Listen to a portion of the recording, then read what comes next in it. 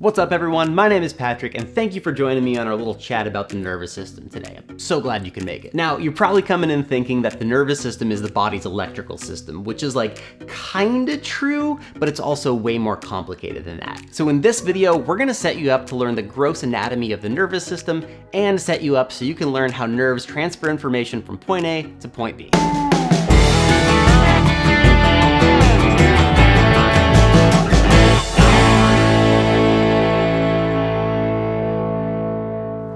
big picture here. We have a nervous system for the purpose of sending information around the body quickly. We have other systems for communication like the endocrine or the immune systems, but the nervous system is responsible for making it happen fast. So to do all that high-speed communication, we have a couple anatomical systems within one. The central nervous system, which includes the brain, brainstem, and spinal cord, and the peripheral nervous system, which is everything else, including all those nerve roots that branch off the spine. Okay, obviously the brain is in the nervous system, but where students get mixed up is thinking that it's this like squishy pink ball of electricity when in reality, is way more complicated. Understatement of the decade. It also plays with hormones and communication from your microbiome, so while it is the chief organ in your nervous system, I don't want you to think of it as like isolated to the nervous system. But the brain does need to be able to get information and commands out to the rest of the body as well as receive information from it. This is where our brain stem comes in handy. Now, full disclosure, I used to think that the brain stem was just like a plug for the spinal cord into the brain, but it's not just that. It's an organ with three parts, the midbrain, pons, and medulla. That brainstem leads to the spinal cord, which is a big bundle of nervous tissue.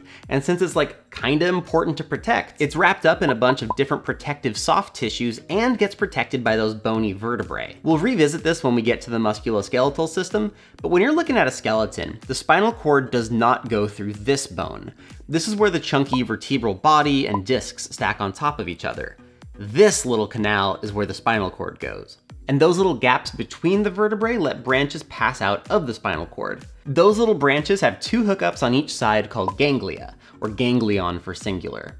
There's the anterior or ventral root that sends down motor signals from the brain, and a posterior or dorsal root that sends up sensory info. If you want a little acronym for that, SPAM, Sensory is posterior, anterior is motor. And all of those ganglia single out into spinal cords, which is where we finally make the transition to the peripheral nervous system. As always, anatomists are the worst at naming things. So most of those peripheral nerves are gonna follow that typical anatomical region's naming pattern. The main leg nerve is gonna be the femoral nerve, and so on. The naming is pretty straightforward, but I got a video you can find right there if you need a refresher. But sometimes those nerve branches bundle into things called plexuses, networks of nerves that happen to head towards the same general target. For example, the brachial plexus stems out of multiple levels in the neck and go under the clavicle and branch off down each arm, which is still the boring anatomical name we'd expect, brachial for arm. The plexus is still made of individual nerves, but bundled together and hang out for a bit before splitting off. Now, it makes sense that all of these are in the peripheral nervous system since they branch off of the spinal cord, but there are 12 nerves that branch directly off the brain and brainstem called cranial nerves that give us a bit of a hard time.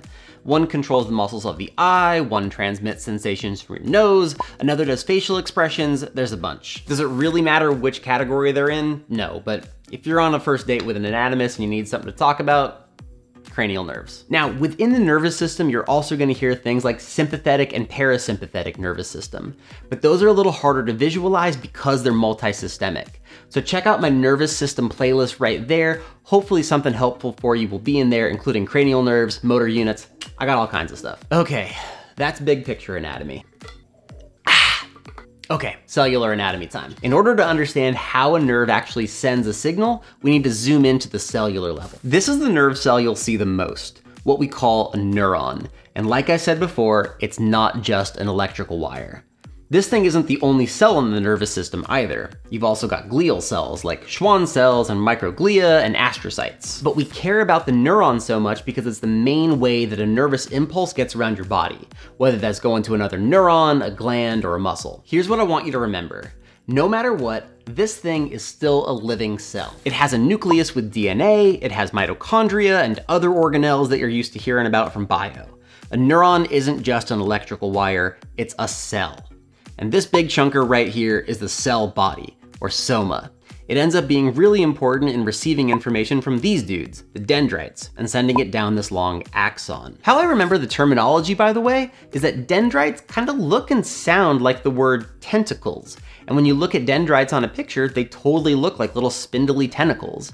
Axons, on the other hand, I remember because it sounds like axle in a car. And those axons are all different sizes. They can be as short as a millimeter or they can be longer than a meter, like the sciatic nerve that goes from your lower back to your toes. They can also be different thicknesses, like a larger diameter neuron will transmit a signal way faster than a thinner one. So if you think about a cell like a full-scale human body, these dendrites are kind of like your ears or nose. They take in molecular information and send it down the line. And these inputs can be so many things. They can excite the neuron to do something or inhibit it from doing something. There are so many combinations of actions out there, but for now, know that the dendrites is where the neuron receives information from. And it all gets summed up at the axon hillock, this root looking piece right here. So those signals get transmitted down the axon and end up at these little feet looking things, the axon terminals.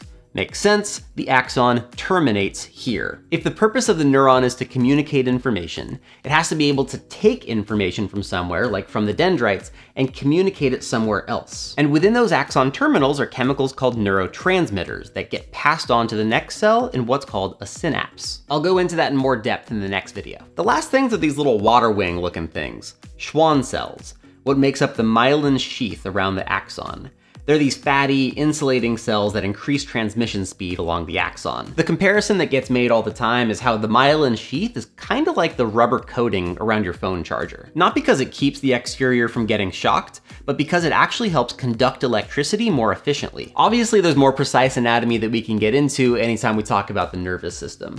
But this video sets you up to understand the next video, which is all about nervous system physiology. That includes stuff like action potentials and synapses. So if you wanna check out that video, go ahead and click right here. I also wanna give a big shout out to my patrons on Patreon, Diana and Jessica. I appreciate their support. You can join them by clicking right here, or you can support the channel for free by subscribing right there, liking the video, and commenting. Have fun, be good. Thanks for watching.